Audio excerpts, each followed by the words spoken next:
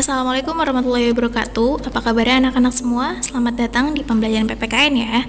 Nah, pada kesempatan kali ini Miss Isma masih membahas pembelajaran PPKN bab 4. Karena semester ganjil kemarin kalian sudah mempelajarinya, untuk itu mari kita bahas bersama-sama. Dipersiapkan bukunya ya.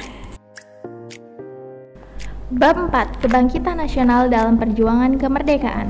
Di sini ada tujuan pembelajaran yang harus kalian baca dan kalian terapkan di kehidupan kalian ya setelah kalian mempelajari bab 4 ini.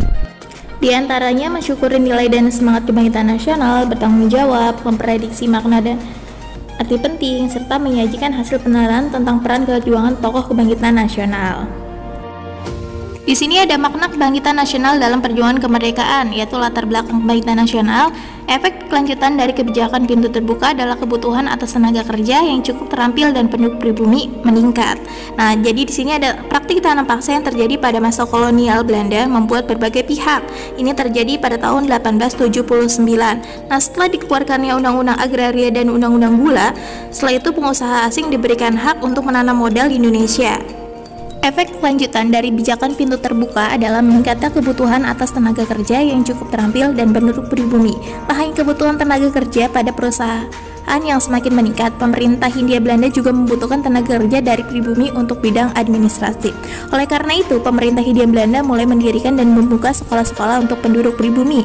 Awalnya, pemerintah Hindia Belanda hanya memberikan sekolah tingkat rendah, tetapi karena dibutuhkan, dibukalah sekolah tingkat menengah dan sekolah tingkat tinggi. Sistem pengajaran yang diberlakukan oleh pemerintah Hindia Belanda dibagi dalam dua jenis yaitu pendidikan umum dan kejuruan. Keduanya menggunakan bahasa Belanda sebagai bahasa pengantar. Pendidikan umum yang didirikan oleh pemerintah Hindia Belanda mencakup jenjang HIS, MULO, dan AMS. Apakah pengertian tersebut bisa kalian simak di buku paket kalian halaman 96. Jangan lupa untuk digarisbawahi ya.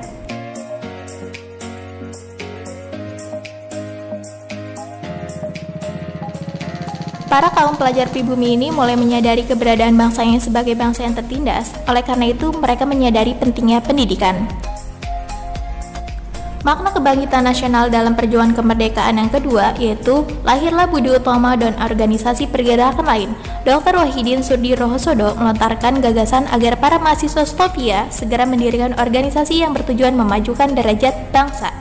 Secara nyata, pemikiran ini merupakan sebuah kritik terhadap politik tanam paksa yang diberlakukan oleh Belanda. Salah satu efek yang sangat penting adalah lahirnya organisasi Budi Utomo. Kehadiran Budi Utomo segera mendapat dukungan dari banyak kalangan. Organisasi Budi Utomo pun telah mendirikan cabang di beberapa daerah.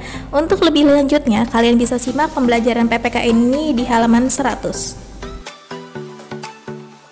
Semangat nasionalisme juga menjalar pada organisasi Sarekat Islam. Keprihatinan Tirto Adi Suryo terhadap pedagang pribumi yang kurang mampu bersaing dengan pedagang Tionghoa dan India.